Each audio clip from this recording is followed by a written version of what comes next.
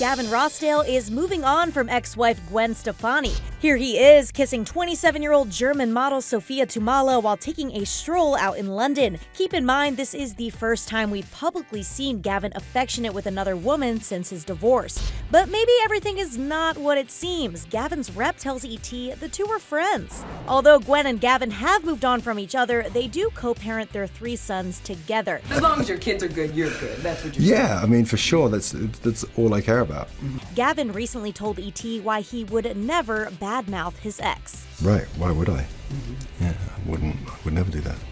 It comes real natural to me. You know what I mean? I mean, she's amazing. So why would I think anything less? What's the best thing about her as a mom? Um, just how much she loves them.